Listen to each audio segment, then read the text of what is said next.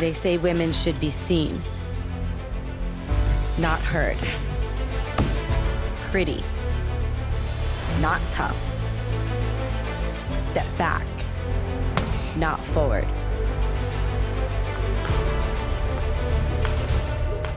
Screw that.